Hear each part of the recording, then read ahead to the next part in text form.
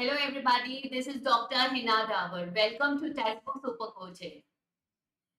तो आप सबको मालूम है फ़र्स्ट ऑफ़ अक्टूबर को हुआ था जेके सेट जम्मू कश्मीर का सेट स्टेट एलिजिबिलिटी टेस्ट हुआ था 2023 का एक अक्टूबर को एग्ज़ाम अगर मैं एक छोटी सी बात कहूँ तो काफ़ी सारे क्वेश्चंस जो थे वो 2012 के पेपर से काफ़ी क्वेश्चंस रिपीट हुए अगर आप देखेंगे जेके सेट के काफ़ी क्वेश्चन सिमिलर थे उनके 2012 के पेपर से यानी पहली चीज़ उन्होंने प्रीवियस ईयर्स क्वेश्चंस को पिक करा है. तो जेके सेट आने वाले समय में 2024 में अगर कोई बच्चा अपियर करना चाहता है तो ये याद रखिएगा, जितना हो सके प्रीवियस ईयर्स क्वेश्चंस कवर कीजिएगा नेट के एग्ज़ाम के और जेके सेट के प्रीवियस ईयर्स क्वेश्चंस क्योंकि इस बार प्रीवियस ईयर्स क्वेश्चंस यहाँ पर रिपीट हुए हैं. पहली चीज़. दूसरी चीज़ यहाँ भी जो पेपर नंबर वन है, जिसको वो जनरल पेपर कहते हैं, उसने बच्चों का बहुत टाइम वेस्ट कराया यानी नेट की तरह ही जेके सेट में भी paper number one general paper एक रीजन बन गया है, या तो बच्चों के ना क्वालिफाई करने का, या पेपर कंप्लीट ना होने का।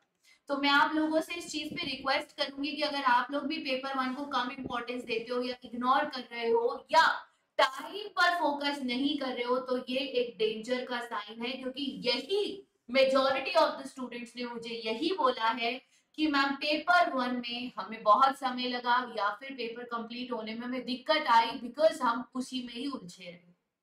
अब चलते हैं एक्सपेक्टेड कट ऑफ़ इस बार कितना जाने वाला है।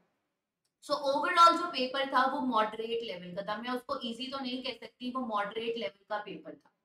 ठीक है अगर मैं 2022 की कट ऑफ़ की बात करूँ तो जनरल कैटेगरी के लिए 192 गई थी। Same as your NET exam same यहाँ पर भी आपके पास 300 ही मार्क्स है। 300 मार्क्स में से 192 पर आपका सेट क्लियर हुआ था जेके सेट क्लियर हुआ था। ठीक है? और एस कैटेगरी जो थी एससी कैटेगरी 162 पे आई इस बार भी पेपर मॉडरेट है। पेपर मॉडरेट है और पेपर नंबर वन ने यहाँ पर थोड़ा सा गेम चेंज किया है। तो कट ऑफ़ इसको एक्सीड नहीं करने जो उम्मीद है cut off will be near 190 और अगर आप वही एसटी कैटेगरी एसटी कैटेगरी में हो तो 160 तक एसटी और एसटी कैटेगरी जो है, वो 155 से 160 के बीच में ही जाएगा। इसको एक्सीड करने के चांसेस बहुत कम है। अगर मैं ईडब्ल्यू e की बात करूँ तो नियर अबाउट 150 रहेगा और पीडब्ल्यू 145 से 150 के बीच में रहेगा।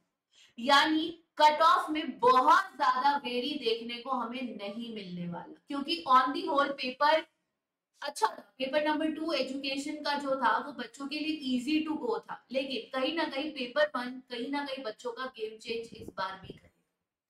So please make sure students next time आप एग्ज़ाम हॉल में जाएँ तो प्रीवियस ईयर क्वेश्चंस को ज़रूर पढ़ के जाएँ और मेक श्योर करिए कि आप टाइम को, समय को अच्छे से मैनेज कर रहे हैं। तो इस बार स्टूडेंट्स घबराइए मत, आपका जो कट ऑफ़ है अगेन 185 से 190 के बीच में जाएगा।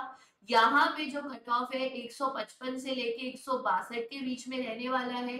पीडब्ल्यू की बात करूँ तो 145 प्लस जाने वाला है और ईडब्ल्यू एस की अगर हम बात करें तो 150 के नियर अबाउट रहेगा ये अप्रोक्सीमेट डेटा है जो हम निकाल पाए हैं अपने स्टूडेंट्स के द्वारा जो जेके सेट में गए। इसमें थोड़ा बहुत वेरिएशन आपको देखने को मिल सकता है। Thank you for joining video को लाइक शेयर सब्सक्राइब ज़रूर करिएगा। Take care everybody God bless you and keep smile